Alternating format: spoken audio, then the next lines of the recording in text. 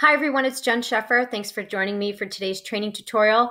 We are going to look at how we can create a matching pairs interactive activity in Nearpod. So you can see I'm in my Nearpod library and I've created a lesson called the New England States. So I'm going to hover over that and I'm going to click on edit so you can see um, how I went about creating that matching pairs game and, and, what it looks like exactly. So you would click on add slide and you would click on activities and then matching pairs.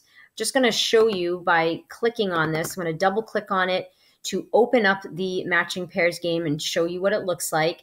Um, I think this is a great activity uh, for our visual learners, and um, it's going to really allow you to differentiate uh, your instructions. So you can see here, I have identified all six states. So what you'll do is click on add pair.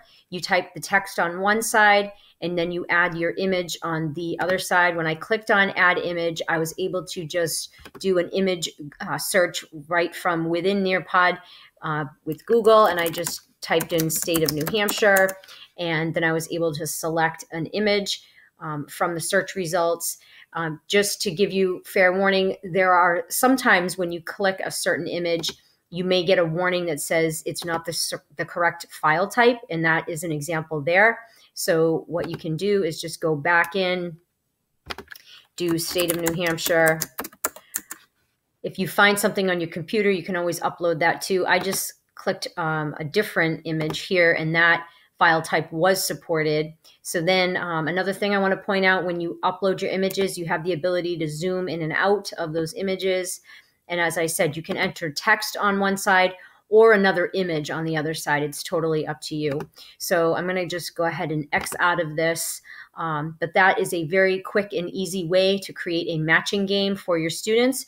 You can also time them. So to add uh, an extra element of fun uh, for your students. If, if you think that's necessary, you can specify the number of minutes and seconds that they will have to do this matching activity. Um, and then you can, again, save and assign the lesson, launch it in real time with them. Great way to get a morning meeting started or at, at the beginning of a lesson to preview the content.